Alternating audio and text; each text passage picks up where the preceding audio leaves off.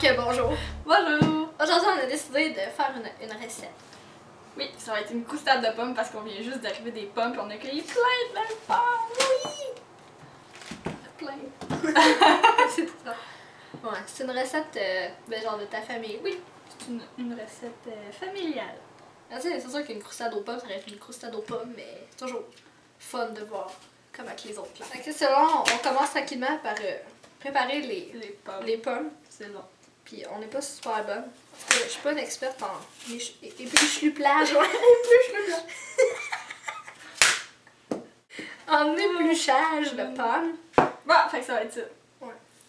Que on est en train de préparer nos pommes, puis après on va vous revenir pour euh, Mm. la suite des événements. Stay tuned.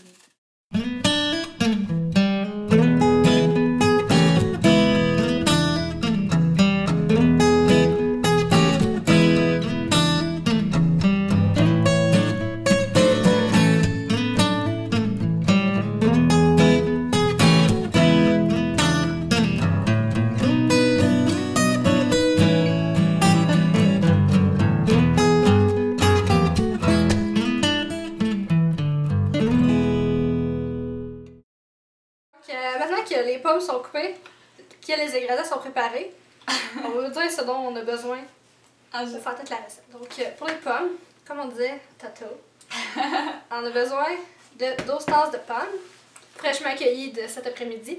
Vous n'êtes pas obligés, mais nous, ils sont fraîchement cueillis lavés, épluchés, coupés en cubes. pour enlever leur cœur. Ils ne méritaient pas d'avoir un cœur. Ouais, Ouais, donc euh, c'est ça là-dedans, il y a 12 tasses de pommes. Après, on a besoin De la farine tout usage. Trois fois un tiers. Ouais, fait que là-dedans, il y a un tiers fois 3 de Ouais. farine. Après le beurre, on a trois fois un quart. De Donc, on a. 3 quarts de tasse de beurre. Pour le sucre, on a trois fois une demi-tasse. Ça fait beaucoup de sucre. Pour la cassonade, on a besoin de trois fois un tiers de tasse encore. Ça fait des beaux petits cubes en les mettant. De, ta- de cassonade pressée. Pour le gruyot, on a besoin de trois fois trois quarts de tasse. Qui se trouve là-dedans. Pour le jus de citron, on a besoin de 6 Ouais, Ouais. 6 cuillères à thé. cuillères à thé. Puis après, on a besoin de 6 cuillères à table d'eau. Donc, on va commencer par faire la pâte. Fait qu'on a besoin? On a besoin de la farine, le gruyot, la cassonade. Ok, on va verser la farine dans le plat. T'es sûr de pas en perdre?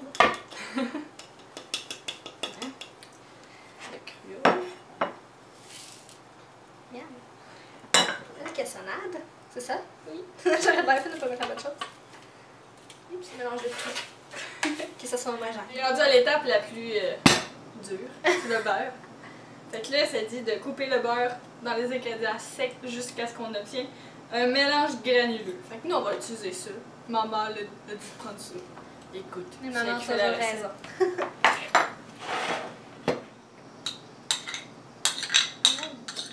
Je serais vraiment pas bonne pour... Ça va-tu marcher? C'est posé! Là. Fais tes dégâts.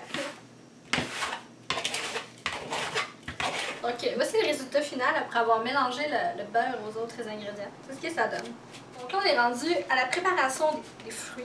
Bref, mélanger les, ouais, mélanger les pommes. Donc, avec le sucre. Ça va être tough français.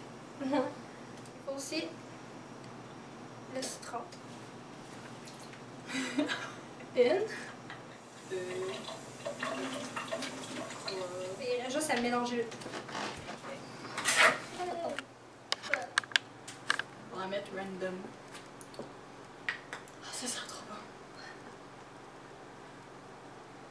Oh. Tout, tout, tout. Là, on va verser les pommes. C'est l'étape facile. Oups. Tu vas aller.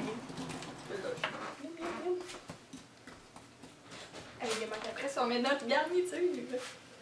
Euh, non, c'est la pâte de sucre, ça s'appelle. Ouais. On verse le plat.